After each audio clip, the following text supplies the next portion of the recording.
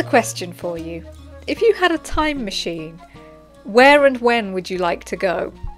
I've spent probably too much time thinking about this question, but one of my top suggestions to any time travelling tourist would be an event called the Field of the Cloth of Gold. It was a bonkers lavish tournament that took place in France in 1520. Uh, so King Henry VIII of England and King Francis I of France met up and basically just had this giant politically important knees up. It was this party that went on for a couple of weeks, I think. Um, so that's why I was really excited to get this Christmas present. It's a kit from a company called Timberkits to make a moving mechanical wooden model which depicts the field of the cloth of gold. Now, I'm not sponsored by Timberkits or anything, I just really like their products. I've had a couple of these before, um, which I might show you at some point. First, I think I'm going to get to work on these hills in the background. Uh, so I'm going to concentrate on making these hills in the distance look far off by making them bluer than the hills in the foreground, which is a real phenomenon. Fun, fun science fact. Uh, because of all the atmosphere that's in between you and those distant things scattering blue light. It's it's the same mechanism that makes the sky look blue. So, while I uh, do that, aren't you just dying to hear more fun facts about this Tudor tournament? Okay, it's 1513, and there are two young kings on the scene in the world of European monarchies.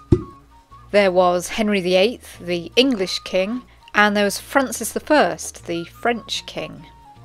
Now, Henry VIII ends up invading France early on in his reign.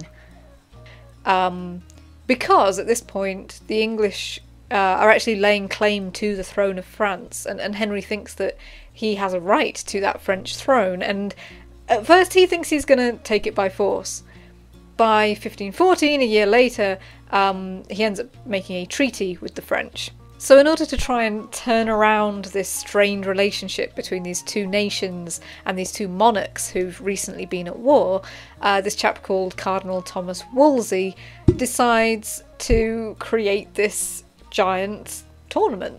Both Henry and Francis are going to attend it, and they're going to make a show of getting on with each other while also having a bit of an opportunity to show off their wealth and their splendour and their prowess as well in some physical activities.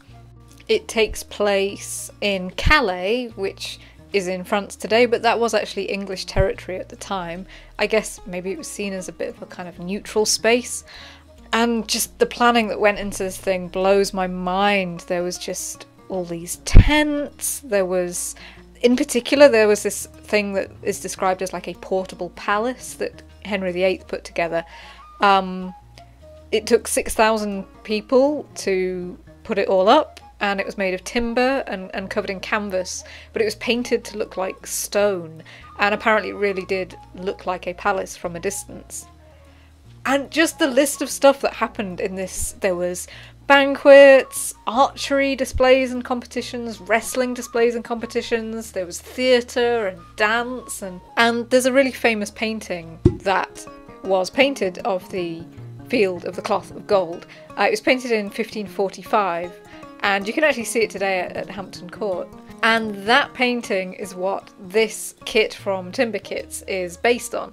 So I've got to admit I am not copying the colour scheme of the painting exactly. I'm trying to be a little bit creative about it.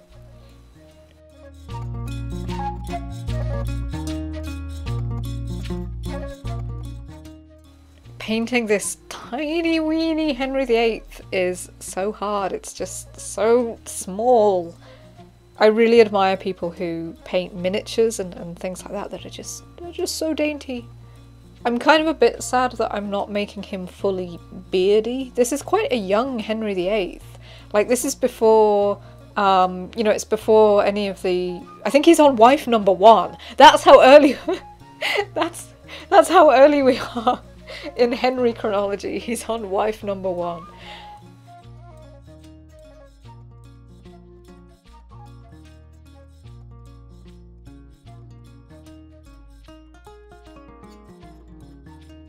I suppose I should explain what I'm doing with the painting here.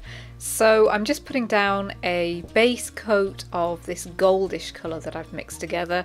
I thought it's the field of cloth of gold, so he needs to be wearing gold, and he is in the painting of the event as well. Henry's dressed in gold, which makes him stand out from all the other figures in the painting. So I've done that, then I'm just adding in a little bit of shading where I think there's likely to be shadow, where there's shadow from him, where there's maybe folds of cloth. It's really hard because it is so small. And then I put in some strong highlights here because I thought it might make it look like there's shiny gold thread in his clothes.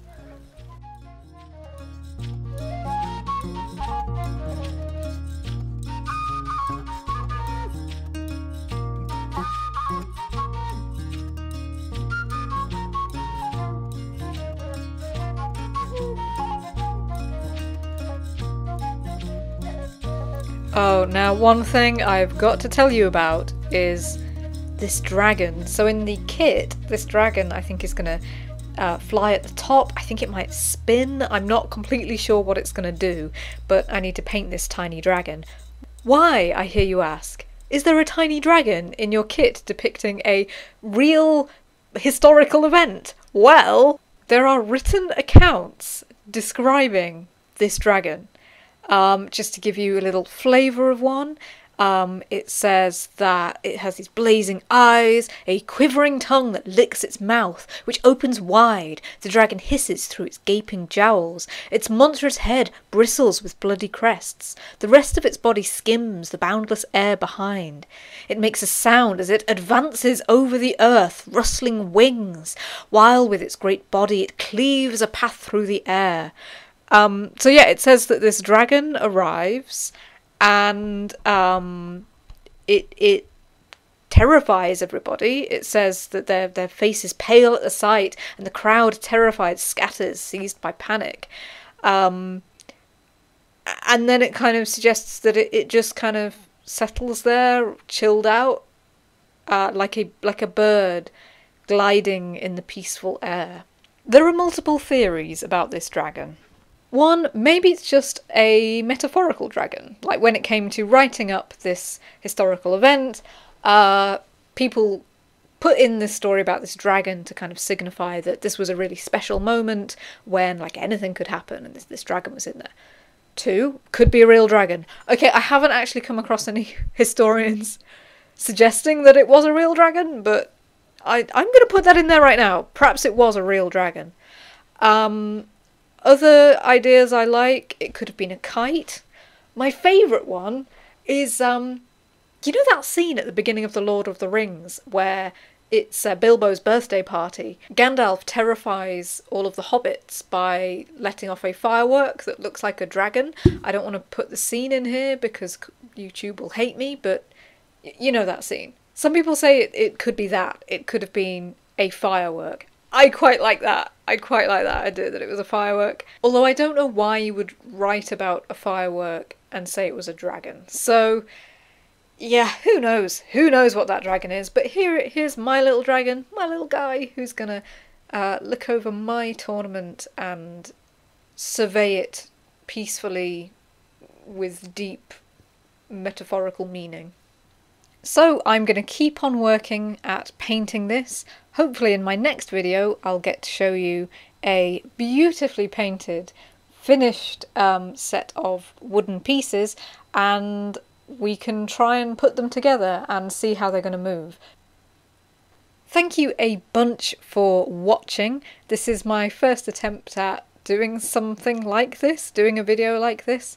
I guess if I'm a YouTuber now, this is the point where I say, subscribe and hit that bell and stuff if you want to, I guess. And if you have no idea who I am, my name's Helen Greetham. You can find out more about me at helengreetham.com. Uh, I make comics. I particularly like making comics for museums and research groups, but I also just make fun comics for fun, and you can read plenty of them on that website for absolutely no money. They are free. Okay, till next time. Bye.